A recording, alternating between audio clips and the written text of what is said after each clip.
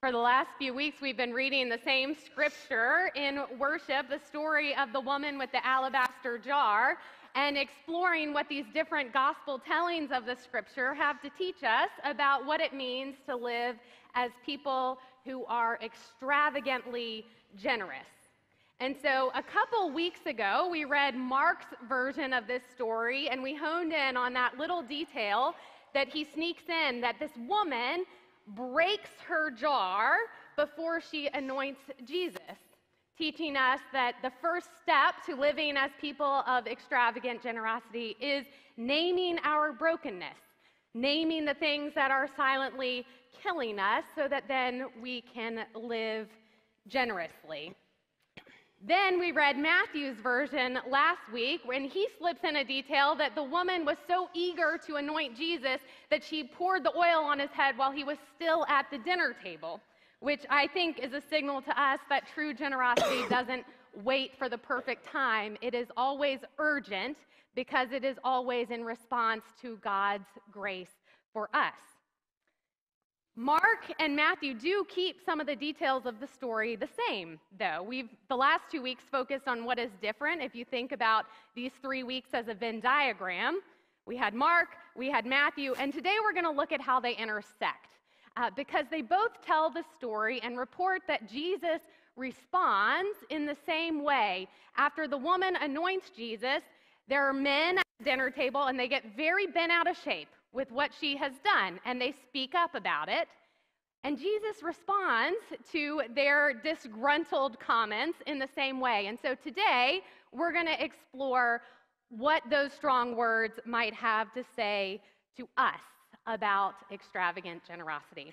So, our scripture reading today is adapted from Matthew and Mark's version. So, if you like to follow along in the Bible, this is going to make you crazy because you can't.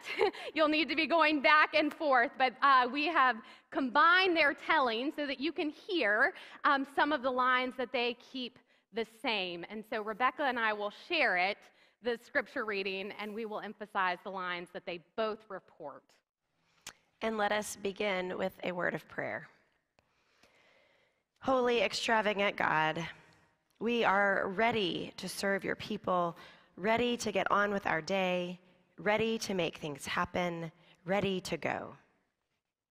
But you have called us here first. We are here to worship you and to learn from you. We are here to listen to your word, to make sense of your word that our service might be in line with your will for us. So calm our pacing minds and hearts. Make us still that we might truly hear and understand your word to us today. Your word that has the power to transform us and make us ready, extravagant disciples. In the power of the Holy Spirit, we pray. Amen. Now, while Jesus was at Bethany, in the house of Simon the leper, as he sat at the table, a woman came to him with a jar, with an alabaster jar of very costly ointment. Of nard. And she broke open the jar and poured the ointment on his head. But when the disciples saw it, they were angry and said, Why this waste? Why was the ointment wasted in this way? For this ointment could have been sold for a large sum. For more than 300 denarii. And, and the, the, money, money given, given, to, to the poor. poor and they scolded her. But Jesus, aware of this, said to them, Why do you trouble the woman? Let her alone. Why do you trouble her? She, she has, has performed a good service for me. For you always have the poor with you. And you can always show kindness to them whenever you wish. But you will not always have me. She has done what she could. By pouring this ointment on my body, she has prepared me for burial. Truly, I tell you, wherever this good news is proclaimed in the whole world, what she has done will be told in remembrance of her. This is the word of the Lord. Thanks be to God.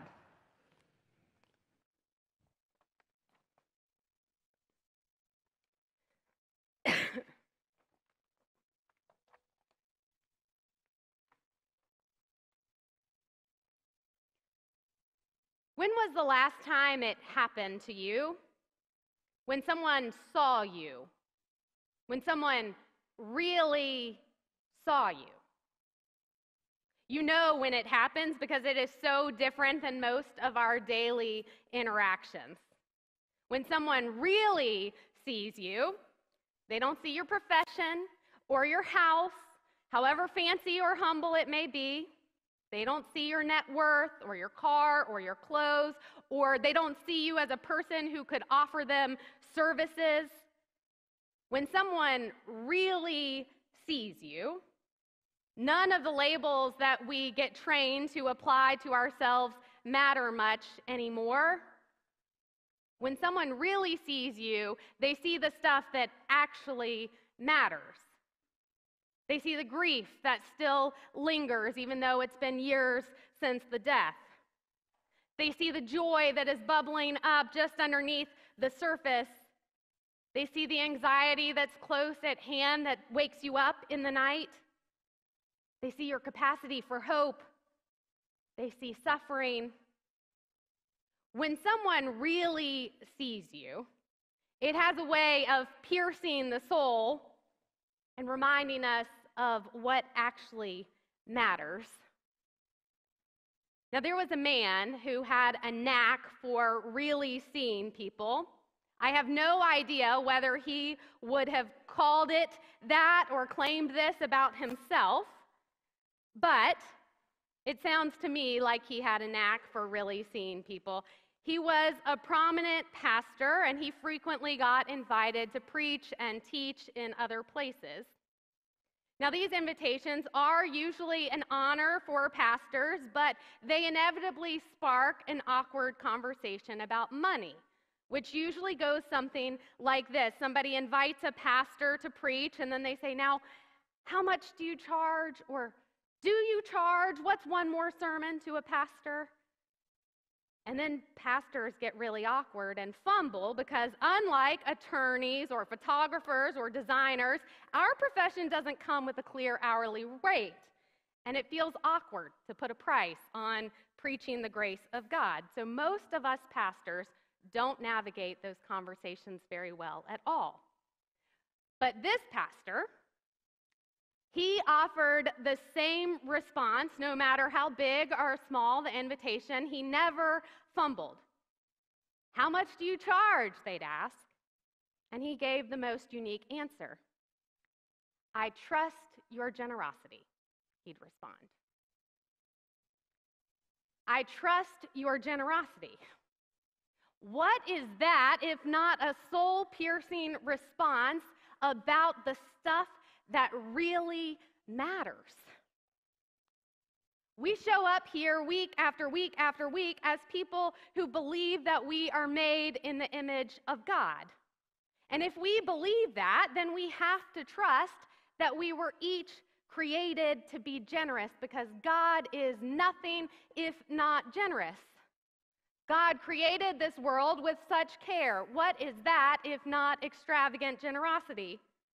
God knit you together in your mother's womb and knows every hair on your head. How generous is that? God sent his only son to live among us and know our human suffering. How generous. God gave his only son so that we could know life and life abundant. What is that if not generous?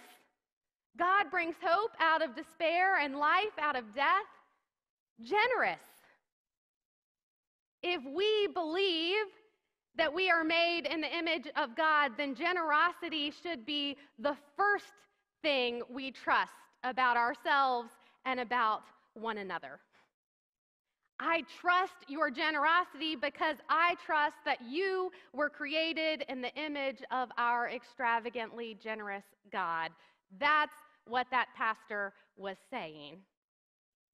Now, I'm sure there are people who were annoyed with his answer. It sure would be easier if he just named a price so that the people inviting him would know whether he was within their budget or not. But see, that would assume a one size fits all, and he knew that he was preaching in places with various resources.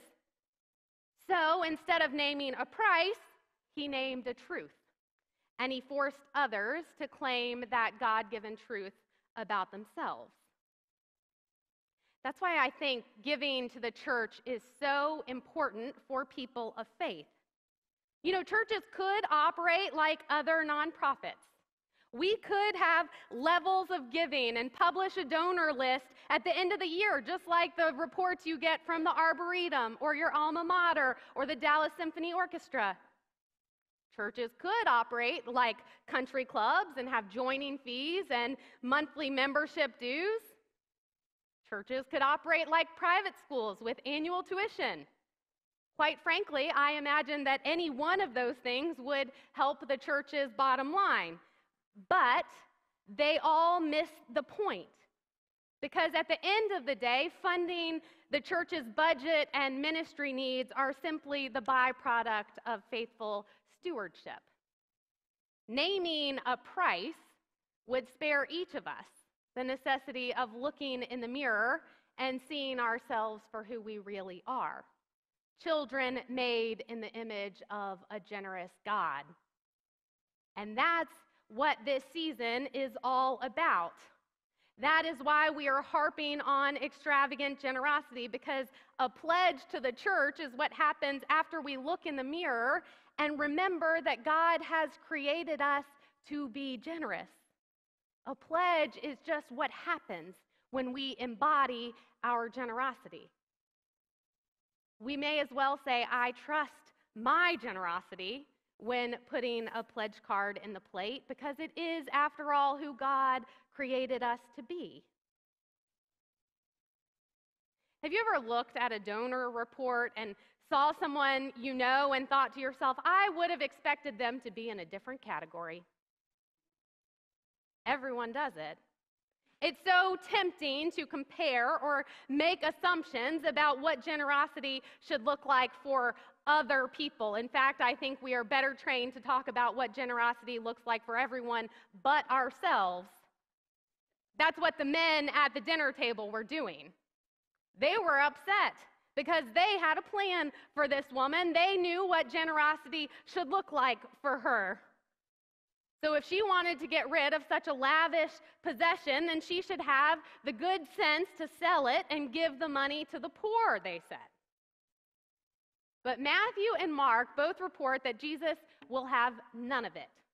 He snaps back and tells them to lay off because she has done a good service. A good service.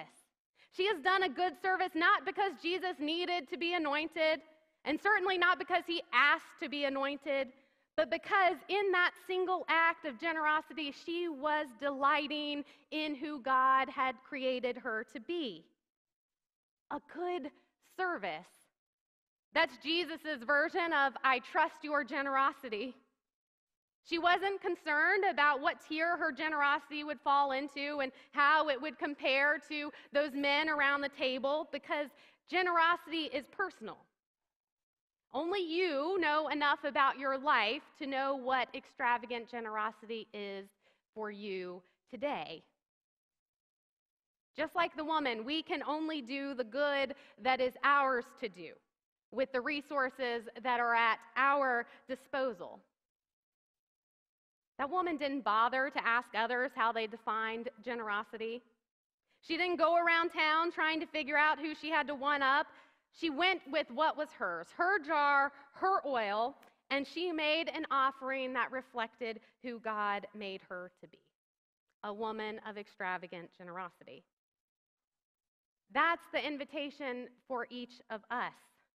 That is why faithful giving is different than being a donor to any other nonprofit. Because giving born of faith asks you, actually, it requires you to look in the mirror and own who God has created you to be. Now, I can't tell you what an extravagantly generous offering is for you. Only you can figure that out. Maybe it is making the same offering you did last year. Maybe it's reducing it because your life has changed and generosity looks very different. Maybe it's increasing your offering because while you offered something last year, you wouldn't consider it generous based on the resources entrusted to you. Maybe it's offering something for the first time. And if that's the case, watch out because you might just see how God how embracing your God-given generosity can change your faith in incredible ways. And if you wonder how you'll know when you've made a generous offering, you'll know. You'll know because your offering will be at a level that reminds you that you are a giver and not a taker, that you are a master of your resources and not a slave to them. But most of all, you'll know it's generous because you've offered your heart along with your dollars. And the joy that comes from that cannot be replicated by anything else. Matthew and Mark both end their telling of this story in the same way. Those strong words from Jesus affirming her good service. We know that her offering is extravagant, extravagant enough that all four gospel writers needed to tell about it. But what makes it good? I think it's good because she answered the question that only she could answer. What does generosity look like for me and my resources? I think it's good because she gave not out of obligation, but out of joy because she had been deeply seen. Jesus saw her.